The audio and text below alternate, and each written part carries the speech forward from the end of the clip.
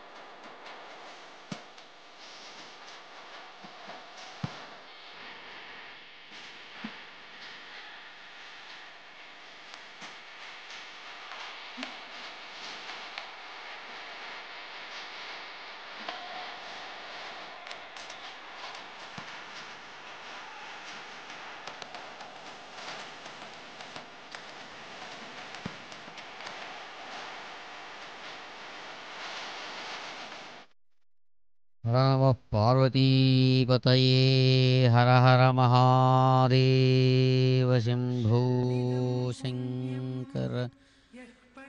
ॐ नमः शिवाय। ॐ नमः हरा నమస్తే హస్తిశైలేశా శ్రీమన్ అంబుజలోచనా. శరణ శరణం త్వాం ప్రపన్నోస్మి ప్రణతార్తిహరాచ్యుత. అదిగో దేవదేవుడు నందివాహన సేవలో భక్తులను ఆశ్రయించినటువంటి తన వారిని చక్కగా ఆదుకోవడానికి సన్నద్ధమై అద్భుతమైన పంచారతి విశేషాలతో కూడినటువంటి ఆనంద నీరాజనాలను అందుకుంటున్నటువంటి ఆ ఆనందమయుడు చక్కగా జ్ఞాన ప్రసూనాంబికాదేవితో కలిసి నందివాహనారూఢుడుగా మహానుభావుడు సాక్షాత్కరించబోతూ ఉన్నాడు. అదిగో అమ్మవారు ఆనంద నిలయ జ్ఞానము ఆయనైతే ఆనందము ఆమె అని మాట. కాబట్టి జ్ఞానానంద స్వరూపులుగా ఇద్దరూ కూడా తమ వైభవాన్ని తమ విభూతిని తమ ఐశ్వర్యాన్ని తమ భక్తులకు అందివ్వడానికై నందివాహనారూఢుడుగా రాబోతున్నాడు పరమశివుడు. శివుడు నందినెక్కి వచ్చాడు అన్నా నారాయణుడు గరుడు వాహనుడారూఢుడై వచ్చాడు అన్నా ఒక విశేషం. నంది ధర్మస్వరూపము అని ఆగమాల మాట. గరుత్మంతుడు కూడా ఆగమస్వరూపుడు అని. కాబట్టి పరమాత్మ దివ్యమైనటువంటి వేద ధర్మాన్ని అధిరోహించి వస్తున్నాడు అని దానిలో అంతరార్థం. కాబట్టే పరమశివ వైభవంలో నంది ఆనందాన్ని విశ్వానికి పంచిచ్చేటువంటి స్వరూపంతో చక్కగా కదిలి వస్తారు.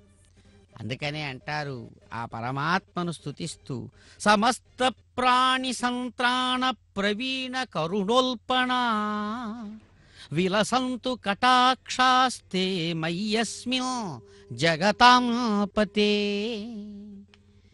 కాబట్టి చిన్న శరీరంలో బందీ అయి జీవుడు నేను అనుకున్నటువంటి వాడు కూడా స్వరూపంతో అన్ని చోట్ల గాలి ఉన్నా గుండెల్లో గాలి నిండుగా ఉంటే ఎలాగైతే శరీరంలో సంతోషంగా ఉంటాడో జీబడే దేవదేవుడు. ఇదిగో ఆనందాన్ని పంచిస్తూ నందివాహనారూఢుడిగా తాను అత్యద్భుతమైనటువంటి స్వామి ధరించినటువంటి హార విశేషాలు కళ్ళు జిగేలుమనేటట్లుగా ఉంటూ ఉండగా భక్తులు ఆనంద కోలాహలంతో అత్యద్భుతమైన నాట్య విన్యాసానికి ఆధారమైనటువంటి లయ విన్యాసాలతో కూడిన డక్కా డ- డోలు మొదలైన వాద్య విశేషాలతో స్వామికి స్వాగతం పలుకుతూ అందమైన ఆనందకరమైన కాళహస్తి పురవీధులలో తాను చక్కగా కదిలి వస్తున్నాడు సాయంకాల చల్లని సమయంలో దేవదేవుడు. అందమైనటువంటి ఆ వాతావరణం అన్ని వైపుల నుంచి చుట్టుముట్టినటువంటి ఆ విద్యుత్ దీపకాంతుల యొక్క వల్లులు మనోహరంగా ఆహ్వానాన్ని పలుకుతుంటే పరమాత్మను.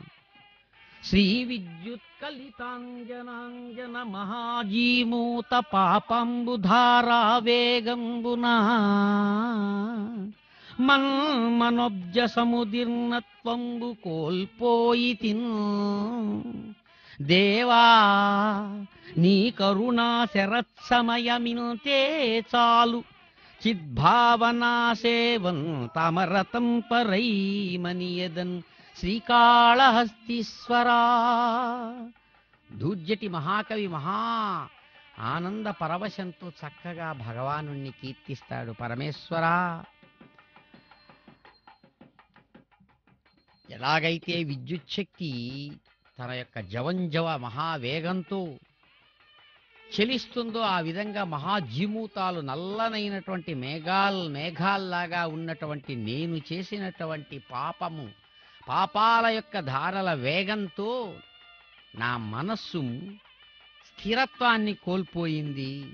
పరమేశ్వర నీ అద్భుతమైనటువంటి కరుణాశర వర్షపాతం చేత నన్ను ఉద్ధరించవా చిద్భావనా స్వరూపుడు? జ్ఞానస్వరూపుడుగా స్వామి జ్ఞాన జ్ఞానస్వరూపుడైతే అమ్మవారు ఆనంద స్వరూపిణి కాబట్టి అమ్మ శక్తి అయ్యవారు జ్ఞానం ఇద్దరికీ ఉన్నటువంటి సంబంధ బాంధవ్యాలవి. కాబట్టే ఏ పరమేశ్వరుడు లింగాకారంలో నిరంతరం ప్రత్యక్షమవుతున్నారో అత్యద్భుతమైనటువంటి ఆ లింగ స్వరూపాన్ని పాణివట్టంలో చక్కగా నిలబడినటువంటి పరమేశ్వర లింగం లీనం గమయతీతి లింగం అంటుంది శాస్త్రం. శివతత్వం ఇదిగో ఇక్కడ ఈ విధంగా ఉంది అని చెప్పేదేనట శివలింగం. అందుకనే శివలింగం అంటారు. శివుని యొక్క తత్వాన్ని తనలో దాచుకున్నటువంటిది. ఎక్కడ దాచుకునింది? అమ్మవారు దాచుకునింది. అమ్మవారు అందుకని చక్కగా పాణివట్టం అంటారు. ఆధ్యాత్మికంగా వచ్చినప్పుడు శరీరం లోపల దాగి ఉన్నటువంటి మనస్సు చక్కగా లింగం మనస్సు లింగం. దా దానిలో పాణివట్టం అమ్మవారు. ఆ విధంగా భావించి పరమేశ్వర వైభవాన్ని చెబుతుంది ఆధ్యాత్మికం. అదిగో నందివాహనారూఢుడుగా వస్తున్న పరమశివ స్వాగతం సుస్వాగతం. హర నమ పార్వతీపతయే హర హర మహాదేవ.